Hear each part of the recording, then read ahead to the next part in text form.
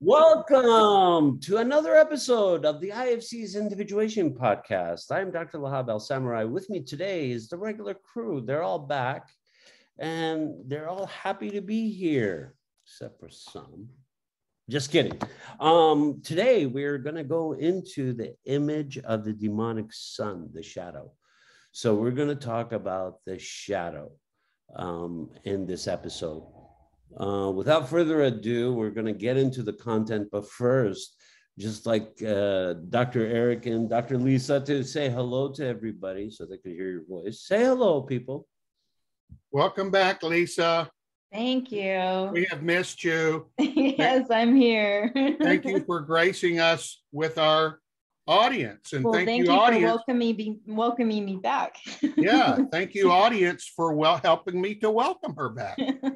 so today we're going to go into uh, a fairy tale, uh, also uh, by our beloved brothers. Um, and we're going to go into the story of Puss and Boots, which has become a popular uh, animated series with uh, um, Shrek. With Shrek and uh, Donkey and all the others. So let's read the original story. Um, why don't we start with that? So, Dr. Eric, you want to read the story? Sure, I can read it. Okay.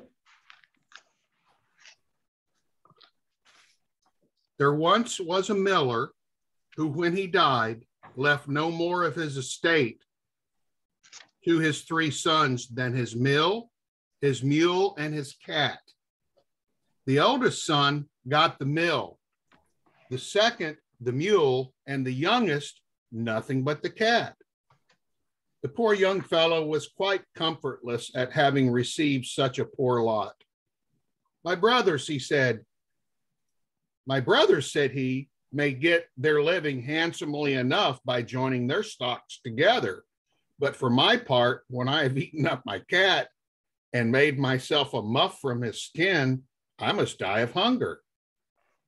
The cat, who heard all of this, but but made out as if he had not, said to his new master with a grave and serious air, Do not thus afflict yourself, my good master. You have nothing else to do but to give me a bag and get a pair of boots made for me that I may scamper through the dirt and brambles, and you shall see that you have not so bad a portion in me as you imagine. Now, when the cat had gotten what he had asked for, he booted himself very gallantly, and putting his bag around his neck, he held the strings of it with his in his two forepaws and went into a warren where there were many rabbits. Soon a rash and foolish young rabbit jumped into his bag, and Monsieur Puss, immediately drawing drawing close the strings, took his bag and killed the contents without any pity.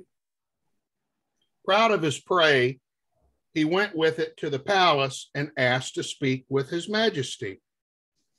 I have brought you, sir, a rabbit of the warren, which my noble lord, the Marquis of Carabas, for that was the title which Puss was pleased to give his master, has commanded me to present to your majesty from him.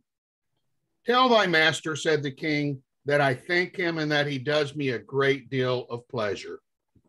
The cat continued for two or three months thus to carry his majesty from time to time game of his master's taking. One day he learned that the king was going to take his daughter for a walk on the riverbank. the cat arranged that the son of the miller should bathe in the river during this time. When his master was bathing, the cat screamed for help. The Marquis is drowning. Thieves have stolen his clothes. At this noise, the king put his head out of the coach window and finding it was the cat who had so often brought him such good game, he commanded his guards to run immediately to the assistance of his lordship, the Marquis of Carabas, and to fetch one of his best suits for him. The fine clothes he had been given set off his good mien extremely well, for he was well made and very handsome in person. So it was that the king's daughter took a secret inclination to him, and the Marquis of Carabas had no sooner cast two or three respectful and somewhat tender glances, but she fell in love with him to distraction. One time, the king asked the Marquis to join him in his carriage. The cat ran ahead and told the mowers of a meadow and the reapers of a cornfield that when the king passed by and asked whose meadows and cornfields these belonged to, they should, on their lives, say the Marquis of Carabas.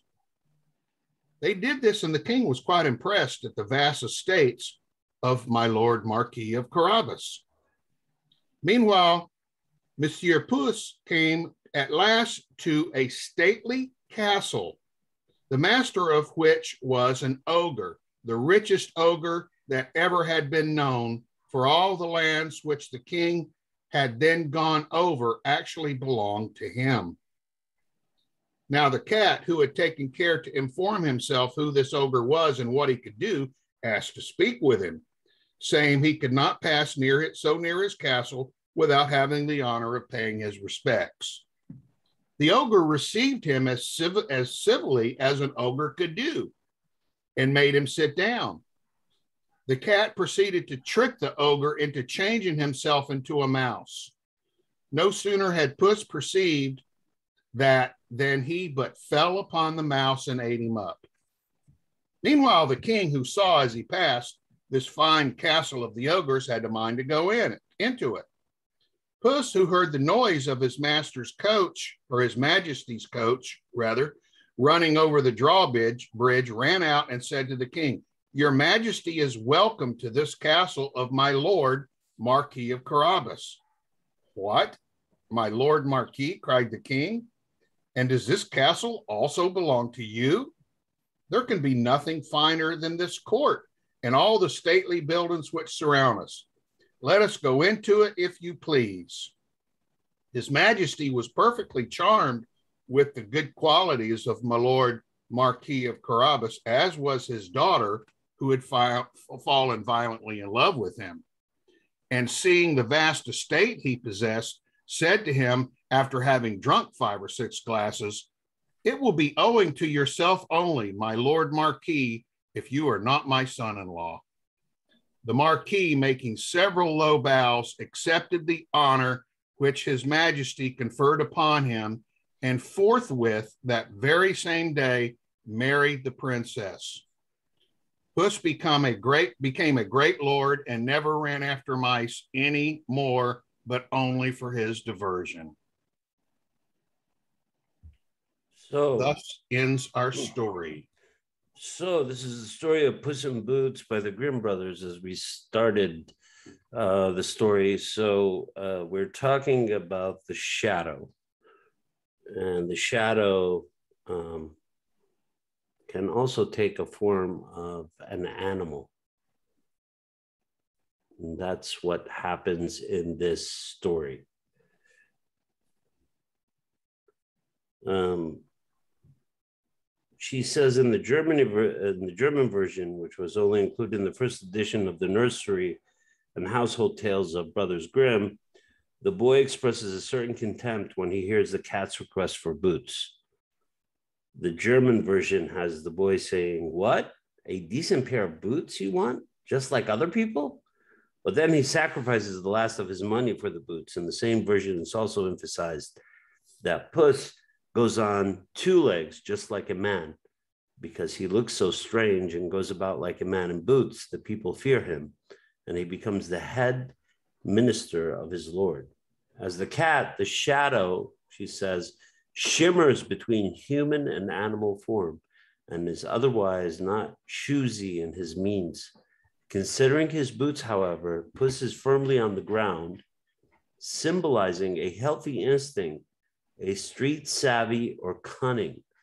As Jung pointed out with the animal symbol, we are dealing with an undisciplined, undifferentiated, and not yet humanized part of the libido, which still possesses the compulsive character of an instinct, a part still untamed by domestication. The animal symbol points specifically to the extra human, the transpersonal, for the contents of the collective unconscious are not only the residues of the archaic, she says, specifically human modes of functioning, but also the residues of functioning from man's animal ancestry. This, this meaning as untamed, impulsive, instinctual, driven nature, and at the same time, superpersonal character explains the apparently odd behavior of the puss in the fairy tale.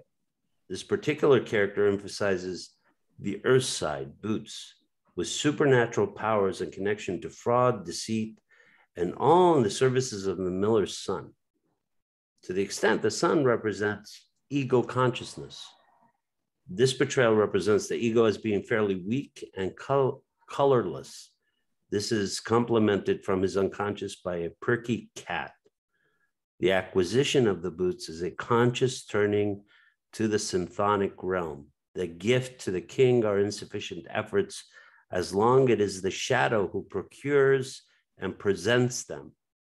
That is why the cap forces the hero to bathe in the river, to be immersed in the magical element, and thus to experience a complete self emptying and nakedness from then on, his ascent begins, and the animal in him overcomes the evil powers step by step.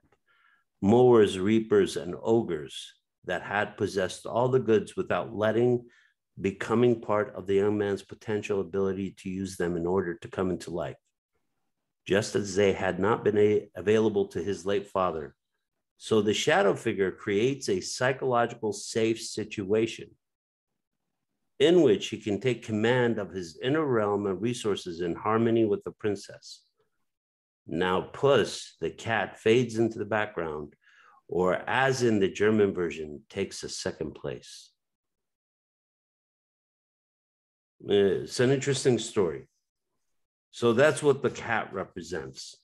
We've had all kinds of projections toward cats throughout history. Archetypally they carry a lot of um, almost human-like abilities. They also have like magical powers. They have nine lives Yeah, they tend to be much more multidimensional than than dogs do. Although I love dogs too and started out with them Yeah. as a kid, but but uh cats are they just have some other element to them that's I don't know, and we've a- and we've attributed it to supernatural qualities Mm. but it's something in the spiritual realm that they kind of tend to tie into for us. These to they they they are they are part of ancient religions and ancient empires had cats. Cats were looked as as even um like you said have a magical quality and archetypal type of energy uh, that has this power. So he is unable to see his potential beyond turning the cat into a hat and eating it. Uh, the cat explains to this uh, naive, almost s- stupid kid who is going to eat the cat what the what the potential is of not eating it, what it can do for him. Well, the first thing you'd ask him to do is is to buy a pair of boots. Well, and I think in a, in a right along with what you're saying i- is um, the idea that if that's another part of himself, then this kid, this this immature, innocent-minded kid, uh, is looking at this other part of himself and thinking there's just not much worth to it. Mm. And I think a lot of people look at their shadow self once they begin to understand a little bit what the shadow self is, and they initially just view it from a negative point of view only and or from a point of view that says even if i understand it what good's it going to do me Mm. when there's a tremendous amount we can learn and grow from of ourselves by learning about our shadow Mm. has a lot more value than most people would think that it does Well, in the story, it saves his life, it saves the cat's life, it enriches the king somehow. It gives him the ability to enjoy himself. And then um, it finds a husband for the princess at the same time. So the shadow, in a lot of ways, is doing all these things that this kid didn't have any ambition in doing. right Yes. So he he- was mhm. Go on, Yeah. go on, Lisa. Young. He's young. He's literal. Uh, Mm. he um, does not see beyond practicalities. It's pedestrian. It's um, and he doesn't um, take a take risks or create um, new avenues. He just sees a cat. Um, but in the end, he does see great value, Eric, or else why he gave, he trusted this cat an instinct, a quiet drive, a something, something alluring there that he invested his last coppers to give this cat a demand, gave it boots. You drive, you show me the road, you start walking, I'll follow. And he gave the cat the boots. And so he gave his shadow the lead and say, okay, I'm in, I'm, I'm gonna let this go and I'm gonna say, you, you know what it is that I need and I need to follow you. And this cat um, used other thing, other um, aspects, incorporating the young man for the ultimate benefit of the young man to increase his land and his value and his worth um, towards an ultimate uh, fairy tale ending. No, it, it- that's well stated, well said. Glad you're back. Uh, but uh, he did. He did come around. At first, though, he he didn't see worth in himself. He had to have a conversation with himself. He had to have a conversation with the cat, with his shadow, and then he realized that okay, maybe I don't need to just be eating him and making shoes out of him. and and so again, it- it's that what I was getting to a few minutes ago. It, it's that understand. I'm I'm speaking mainly toward Americans here, Western Christianity in general, which is what America is. It's changing quickly, but it's still predominantly a Western Christian society. And and it's just very, very easy to view the shadow as if it's the sinful nature.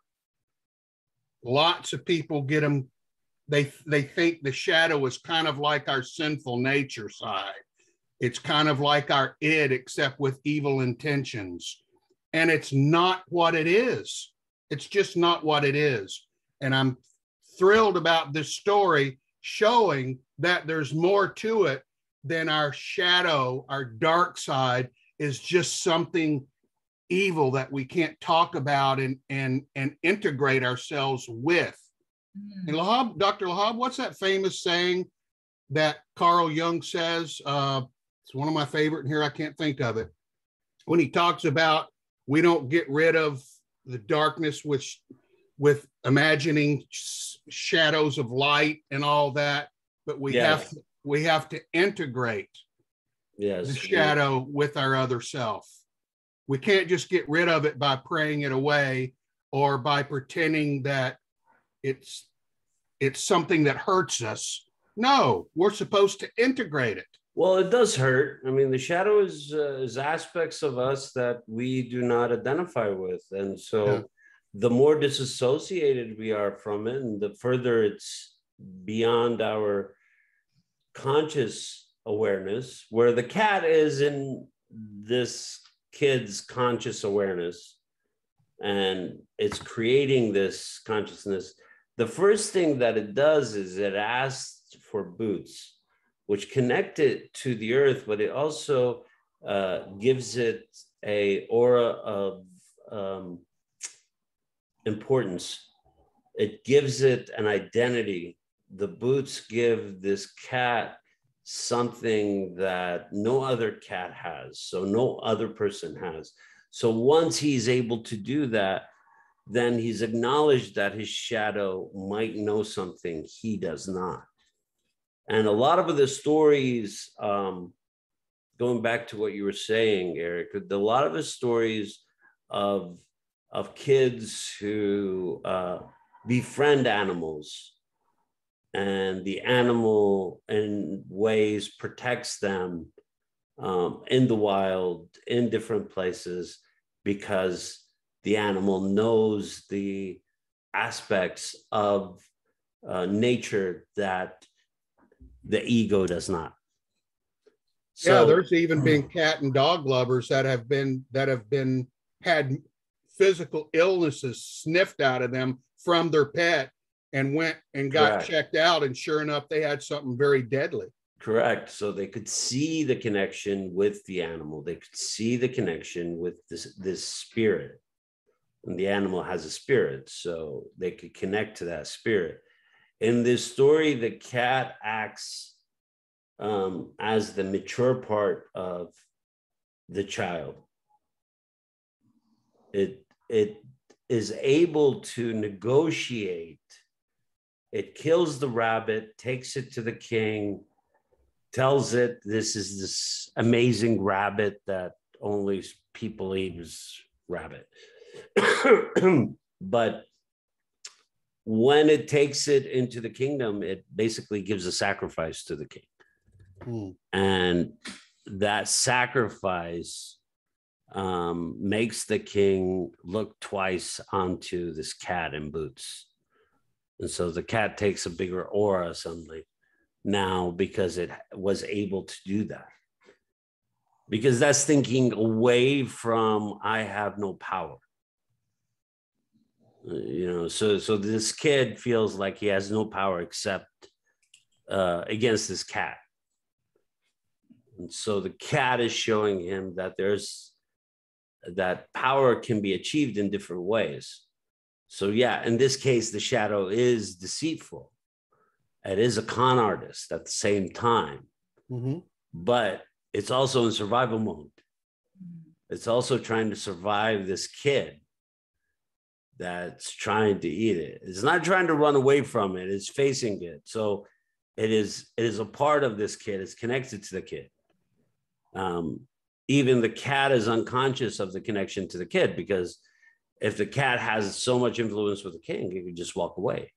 Um, why do you need to have a master? Um, the cat figured out that they're not going to take me seriously. Let's pretend there's somebody else in charge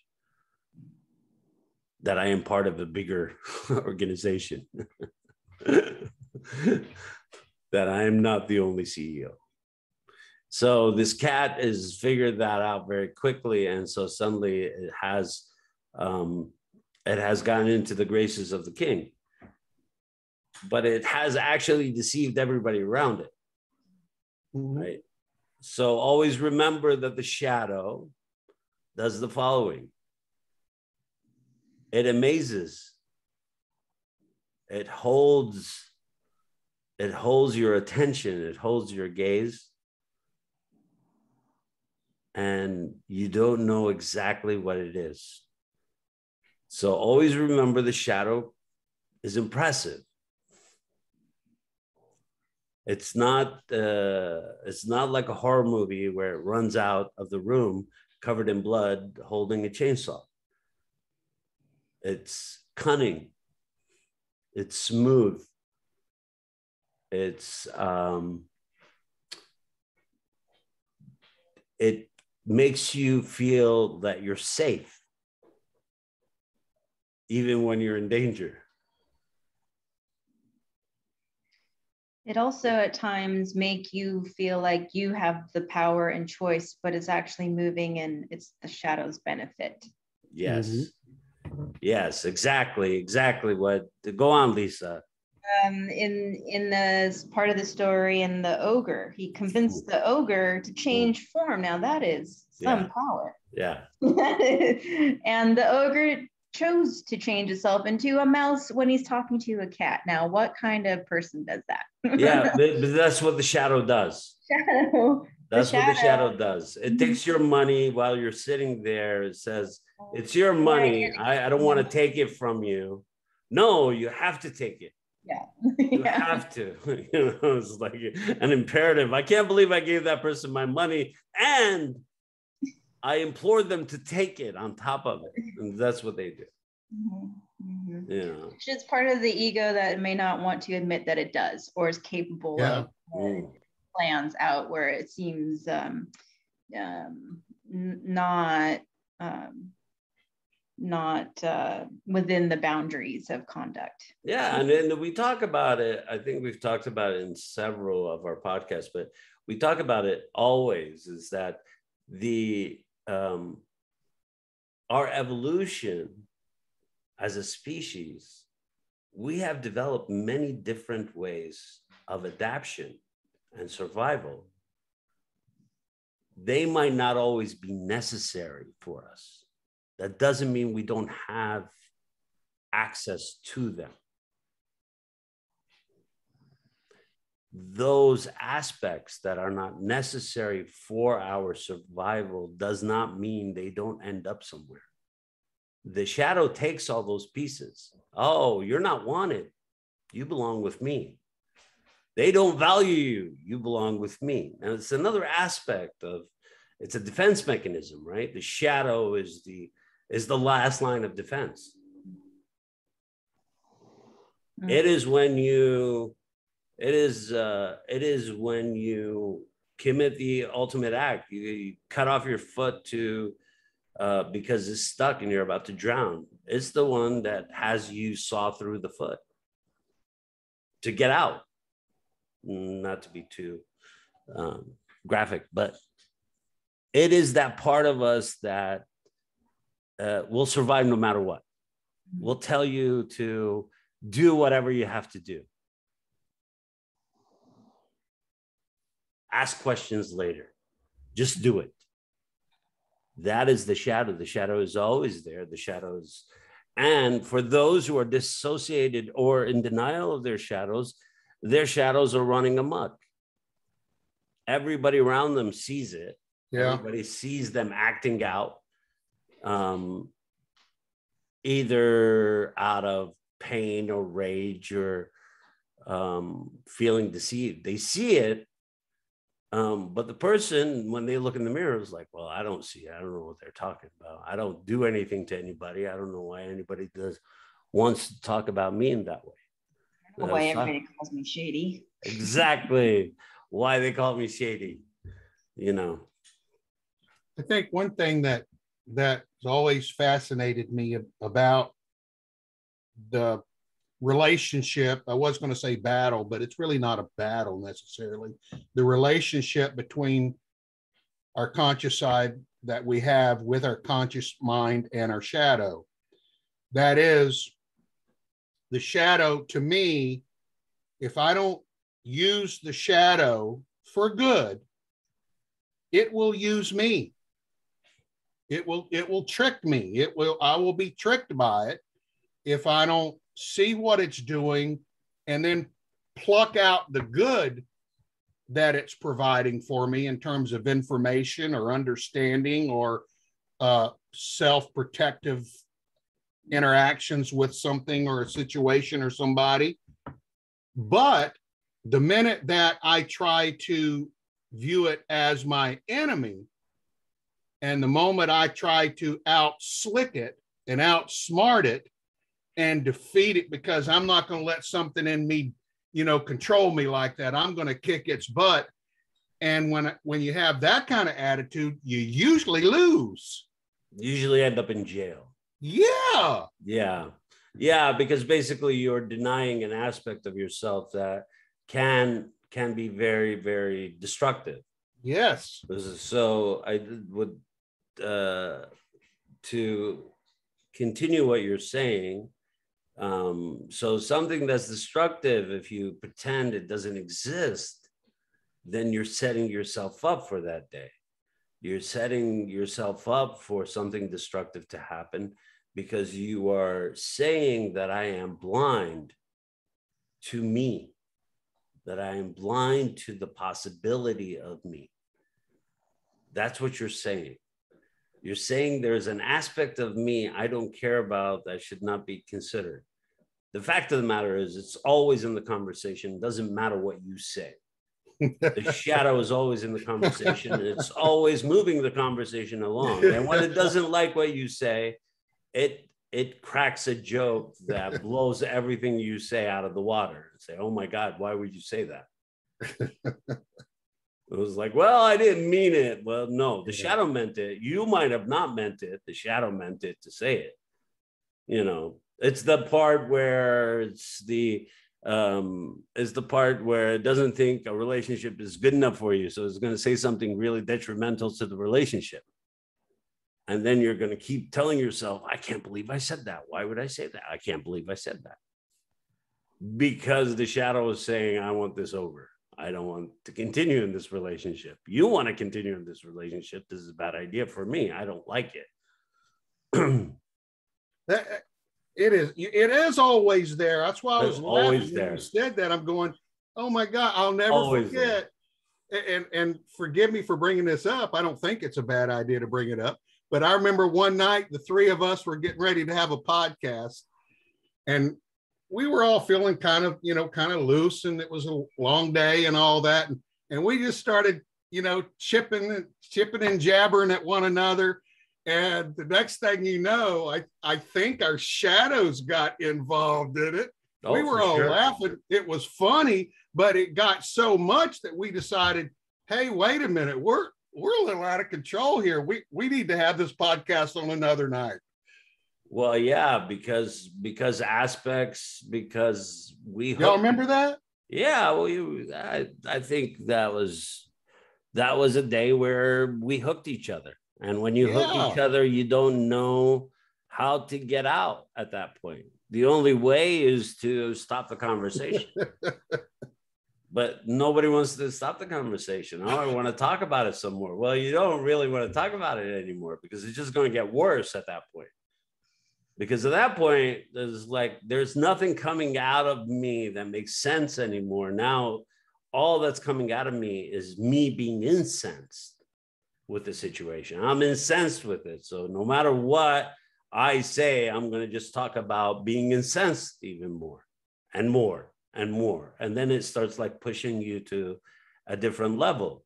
Now, if you are with enemies or people who are potentially threatening to you, that's a very important skill to have because that keeps them weary of you. Yes. It keeps them from attacking you. It because you have this sense of yourself and you get louder and more anxiety and you more irritated. And so the other person was like, yeah, maybe we should mess with this person there. It's the problem is when you can't, when you don't access it and it plays dead for you, then it messes you up. If you become very passive towards it, then it messes you up. Then it puts you in situations where you're hurt and um, you get no relief from it because you're not learning your lesson. You're not learning that you need to stand up. It's telling you you need to stand up and you're not learning from it. So it keeps slapping you down. So sooner or later, you're going to stand up to me. Right. What was so amazing to me, Dr. Lahab, about it was one of the things that was so amazing to me is that before before we ended our conversation or whatever it was for the evening, we all were talking about what had just happened and kind of i mean it was just like kind of funny to me at how we can we can actually look at it talk about it and none of us have any bad feelings toward one another we just all three recognized but at the time it was very hot well, it was, but at the I, time, it felt like the stove was on fire. At the time, at the it time, felt like it could destroy things. It could destroy relationships. It could destroy other things. I mean, that's that's the shadow when it's like coming alive inside of us. That's what it feels like. It's a it's a powerful thing. You could feel it. You could sense it. It's in your skin. You start saying things like "I don't care" right away, and you know that shadow. Yeah. As soon as you say "I don't care," right? Because then you're basically saying that doesn't matter who you guys are. I don't care. Like our relationship doesn't matter anymore. I've crossed that bridge. That's what becomes scary. Lisa, you were gonna. There, there is a tone that can get almost obsessive Ooh. about a um, driving your point or what, what are you get obsessed Continue the with. conversation. yeah during the conversation where um, what it is that you're saying or eric I, I the underlying faith of the continuity of the group goes Yeah. out the window you totally forget about it because you're Yeah. so incensed and obsessed with the feeling Yeah. Yeah but the aftermath when we did wind down eric i, I completely agree. We're all like okay that was over. Um we'll just let that we'll we'll sort this Yeah. out on our own. We got caught up and i'm glad that we are able to. There is also a sense when you get through that dark and come back into presence being present again that y'all go oh okay we made it Oh, it's clearly a victory and, and an important one. And and what because at that point in time, it was obvious that none of us were gonna, none of us, I don't think, would have allowed that to do any kind of long-term destruction of our relationship. Well, so you have to remember that we're talking about what this book, this book is entirety is about the shadow aspect of humanity. So the trigger was already there. It's in our hands. We read it out. We talk about it incessantly. We converse about it. And then we act like we're above it. And that's the mistake. The mistake is you're not above the material. You are the material, the material is you. Yeah. And so to to talk about to mess with the shadow is you're messing with an archetype when you mess with the shadow. When you mess with the shadow, there is an archetype. We're not talking about the shadow as a complex for you. There's an archetype. It's called the shadow. And that archetype represents the devil, the betrayer. It also represents it represents many different aspects of what we find to be on the wrong side or the other side. Let's put it the other side. So this is the other side. When you mess with it, when you say, Puss in Boots, I mean, come on, who believes this shit? So when you mess with it, it messes back. You can't mess with it. You can't like sit there and try to clinically poke at it. Oh, the shadow moves from right to left. No, it moves you from right to left. It doesn't move from right to left. Be careful what you ask for. Be careful the power you awaken. Right? So it's always the case. Is be, be careful what you wish for. You want to know more? Okay, great. Let me show you. Right? And when you talk about that conversation, it doesn't matter how far back you could go. You don't remember, I don't remember, I don't know where that thread started. We don't know where that thread started because it's in the material. It's in our head. We're reading it. We're talking about it. We're reflecting on it. We had read those stories. There were two stories at that day. We had read them over and over again. And if you remember reading the story, you will find what started it in the story. Yeah, the shadow. It Yeah. was triggered before we got. Absolutely. 100%, 100,000%. It was triggered way before we arrived. It was triggered, it, it was already there when we were laughing. It was laughing. Yeah. The Yeah. archetype was laughing. It's like, oh, you guys are having a good time. Okay, good. That's where we went. That's the that's the good beginning point. That's why that's why so many bar fun nights become disasters. Yes. Because what starts out as really funny, oh, you're so funny. Oh, you made fun of me. That's funny. You know, it's like, oh, now I feel offended. and so it, it escalates very quickly to something is like, oh, this has gotten out of hand. so when we talk about archetypal energies, you know, we're messing with something. You have to understand what you're messing with. You have to understand what you're talking about because when you dive into material that is like this material, which is, you know, depth psychology, basically. Uh, so Nietzsche says that when you stare into the abyss, the abyss stares back. And we're staring into the unconscious every week, over and over again. The unconscious stares back. Oh, who are these three? And what do they think they're doing? Uh, so it stares back at you. This is what happens in uh, groups, great bands. The shadow appears. First, it's money. It's like, well, you make more than I do. Why do you make more than I do? Then it's power. It's like, well, you make more decisions than I do.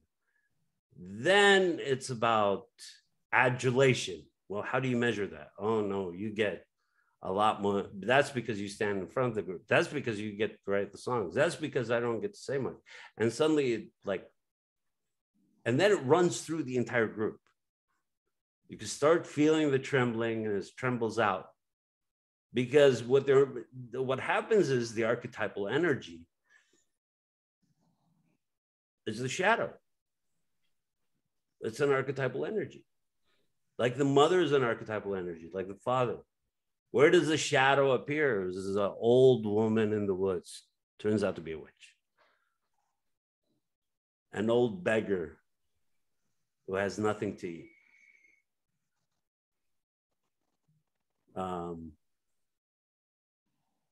a wolf who seems to be hurt.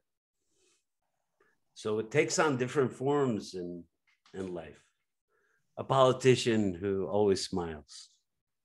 It takes on different forms. The shadow starts to show itself. Right? And even when it's in your face and telling you, I'm going to fuck you up, I'm going to mess with you in ways you do not understand.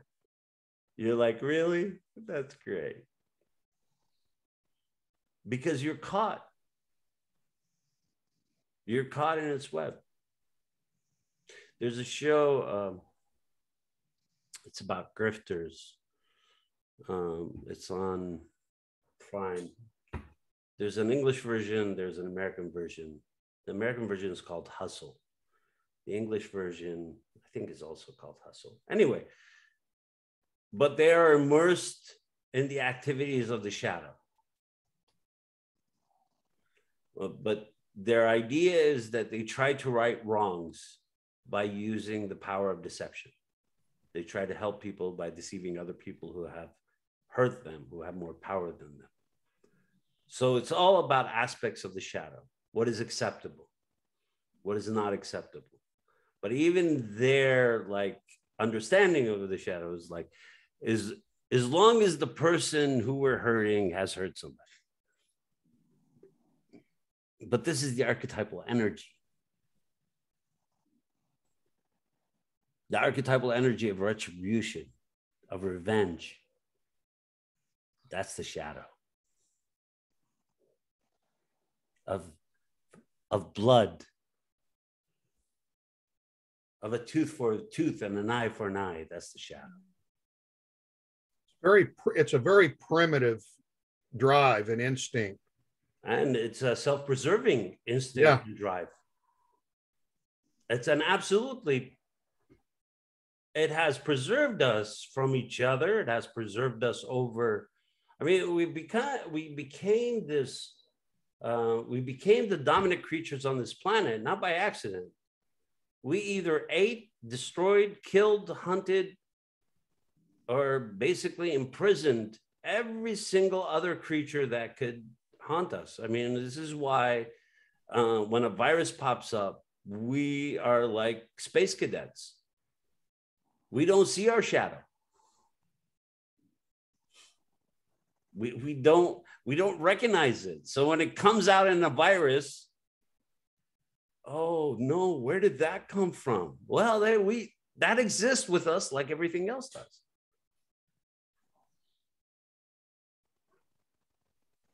We have always existed. This is why, you know, this like denying death, like, oh, death, you know, it's like we don't need to talk about it. It's, it's only people who die. It's like talking about war. Oh, you know, it was a, what do they call it? It was an engagement. It was not a war. Hmm. it was a military action. It was not a war. We don't want to acknowledge our shadow. We don't want to acknowledge how grand our shadow is and how much of the world that it eats up. Uh, you know, uh, and, and Dr. Lahab, I think the military is probably the best example of that because I one time I went through all of the words that they created, new mm. words or phrases mm. that they create for things. Mm uh, like engagement as opposed to battle or war. And the majority of the new terms, the new words, ne- neologisms, I think is what they're called, but the majority of those words had to had to do with death and destruction, but the words became almost neutral. Yeah. They were almost neutral words describing horrible destruction and killing. Yeah, I mean, this is how you get away with it. This is how the shadow gets away with it. It didn't hurt everybody. I mean, it helps some people. That's that's how you get away with it. This is how you rationalize mass destruction. This is this is how you rationalize poisoning the food supply. Well, it didn't hurt everybody. I mean, yeah, some people had cancer, but you know, mostly people survived, and we have a lot more food and more people are fed, and who cares if it's a little poisonous? This is how they rationalize yeah. mass murder. This is how they've rationalized the destruction of this planet. This is how they've rationalized hunting um, other species into oblivion. This is how they've rationalized it. They rationalize it over, and it's always the archetypal energy of the shadow.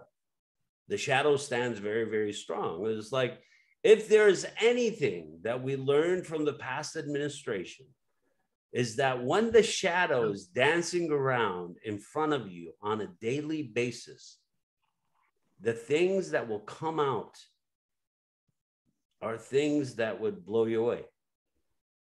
The Chinese, it was like, this is a new article it's a clip of a book. Uh, one of Trump's generals had to call the Chinese to let them know that we weren't going to attack them. So he would stay in power because the Chinese thought we are going to attack them. Because the shadow is talking all kinds of crap all the time. All the time. And people are clinging to it. It's like a magnet. It's pulling all these fringe parts into the middle to create this. And even those who reject its premise are being pulled into the middle. Yeah. So it's it, it's like a ticking time bomb that's pulling everything towards you and blows up. I mean, it's the uh, one of the best uh, depictions of the shadow is uh, the Batman uh, Batman against the Joker. It is the best depiction because Batman is sitting across from the Joker, and the Joker is laughing at him, telling him he is he is the same, but he is more efficient. And the Batman is just slow at figuring it out, that he's just figured it out. They are one. That they are both their own shadows personified? Yes that they they're they're both acting out of the same premise. Mm-hmm. that they come from the same egg. That's what he was saying to. Yeah. That we were born of the same egg. You are saying that you do it differently but we're doing the same thing. Mhm. You're trying to stop something that's going to happen anyway. You're just delaying it. Even it's basically he's implying that he is actually more sadistic than the Joker. He says you you're just prolonging the pain. There's this long. Um, we should actually we should uh, we should analyze that movie. Yeah. There's a long monologue between them when he catches the Joker, and the Joker I, is has this entire building with people um, strap bombs onto. And as they're having this conversation, uh, he's trying to figure out where this is so he could save them. And so they're having this long monologue about who's who, who's righteous. Who's... The Batman is always in doubt.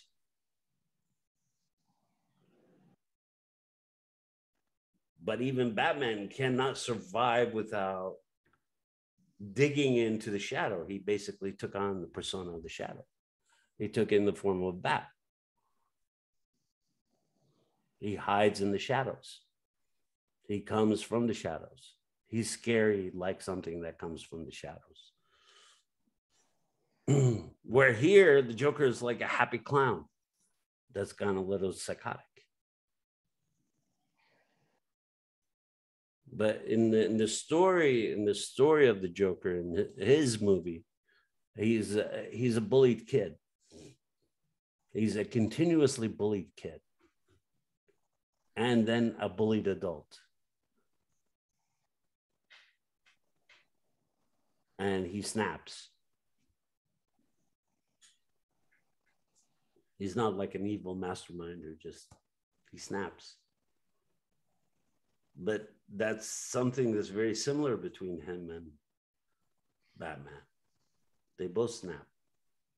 I like that you said that, you know, they're split, but there's parts of themselves in both characters.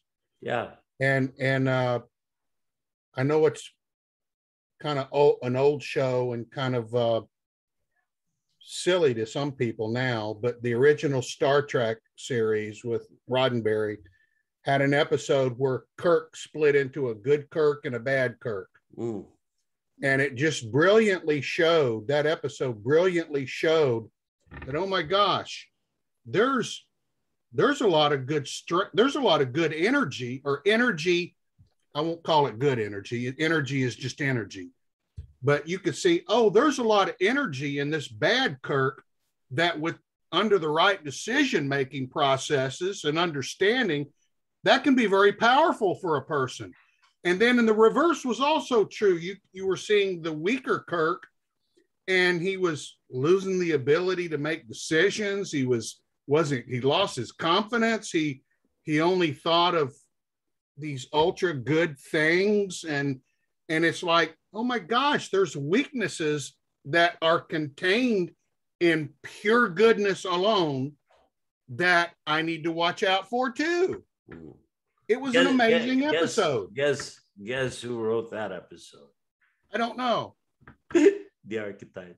It always Oh. writes the episode. It always tells you, well, look at you. You are weak without me. Look at you. You're almost nothing. You have no energy. You have nothing here.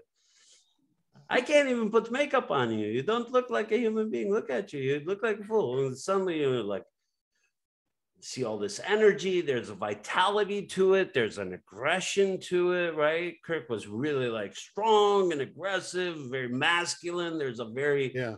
it's exaggerated in a lot of ways but this is Sure. what the shadow this is what the shadow does it's this is what is the aspect of the shadows. Like oh I, i'm scary right? You know people are scared of me. I have power. People are not scared of you. You have no power. That's the first thing it says off the bat. It tells you it's like oh they're not scared of you. That's the problem. It's always diagnosing problems for you, always. It's always telling you what and where you should and what you shouldn't be doing. Even though there is an edge to it, there's a twinge, and that's why you have to become conscious of it.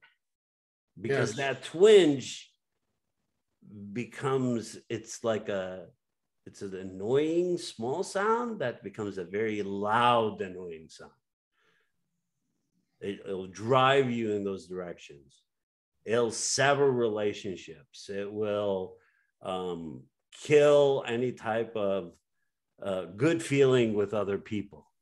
It want to push you into because it's a complex and it wants to be energized. It wants more energy. It wants to take over. It doesn't want to sit in the darkness. It wants to sit in the light it says well you know i want to be king of both kingdoms. It's the it's the it's the original story right i want to sit on top of both kingdoms. Why can't i sit those Mhm. what does the devil tell um um al pacino and uh, keanu reeves in the devil's advocate? They What have this long conversation. There's this huge long monologue between them. He's like i was here on day one. I am the one who does the dirty work. You think he gets his hands dirty? I got my hands dirty. I am the one i am the one who made all of this i am the one who so uh, that's the argument that uh, the archetype uses. The archetype is like, you would have never survived without me. I led you to squash all these other creatures. I led you to spray all these other insects and poison your own food. I led your fear. I let you kill yourself. Didn't do that for anybody else. and I am leading you off the edge of the cliff right now. We are driven by like the shadow energy that's destroying this planet. And it rationalizes itself by, well, how are we going to eat? We're not going to have enough to eat. So we've had enough to eat for centuries. Suddenly we're going to run out of food. Well, then we can't fly. Then we can't walk. Then it's like all these things that we've been doing over and over again without destroying. We're literally at a stage in our development that the archetypal shadow is no longer seen as something evil. It is worshiped. It's like, oh, yeah, good for you. Take more. That's where we are in human history right now. The shadow has prevailed. Unfortunately, the fight goes on, but the shadow, in a lot of ways, has prevailed. Yeah, and it and and over a long period of time because we've spent centuries trying to beat it down and put handcuffs on it and not listen to it and ignore it and and call it so evil you even the thought of it is a sin. Yeah, but it has caused the opposite effect. Well, yeah, of course. It's, it's caused it's caused the Catholics to run after people and burn them, burn them to a crisp, calling Yeah. them witches, and it's it's caused so much destruction. It's it's basically what what's happened is is that it's become it's become okay